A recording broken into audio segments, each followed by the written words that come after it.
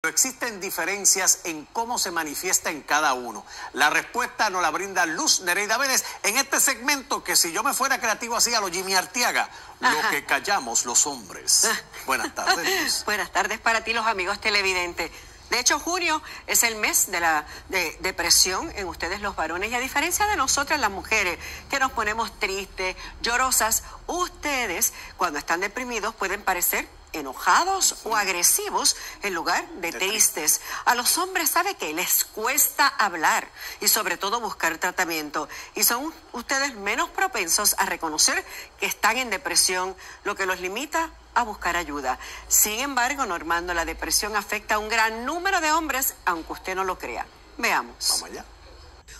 En algún momento de nuestras vidas podríamos sentirnos tristes, irritables y muchas veces cuando tenemos problemas o situaciones, el sueño podría escaparse o no dormir adecuadamente. Este malestar puede durar días, pero cuando esos sentimientos permanecen, podríamos estar padeciendo de depresión, un trastorno mental muy común y que podría llegar a ser grave. Cuando hablamos de depresión, usualmente dentro del contexto de psiquiatría y psicología se habla de depresión mayor más comúnmente, aunque existen eh, muchas clasificaciones de depresión. Depresión mayor es la más común y lo que podemos observar es que esta persona tiene por más de dos semanas síntomas de tristeza, pérdida de interés en actividades diarias, eh, sentimientos de minusvalía o de culpa, puede tener unos cambios en la energía que siente durante el día, el apetito le puede cambiar, el patrón de dormir puede aumentar o disminuir, eh, se puede sentir más lento y el peor síntoma de todo, ¿verdad? Y el más que nos preocupa porque es una emergencia es que vaya a desarrollar pensamientos de hacerse daño. Aunque la depresión puede afectar tanto a los hombres como a las mujeres, a los varones les cuesta más hablar sobre sus sentimientos, emociones, y esta es una de las diferencias. ¿Por qué eh, se le hace difícil expresar sus emociones o buscar ayuda?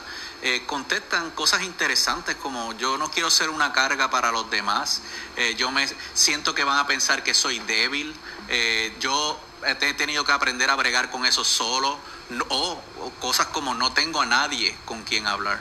Este, así que podemos ver en hombres que pueden tener tristeza mostrando irritabilidad, coraje y frustración y no necesariamente la tradicional de, de sentirse lloroso, de decir que se sienten tristes.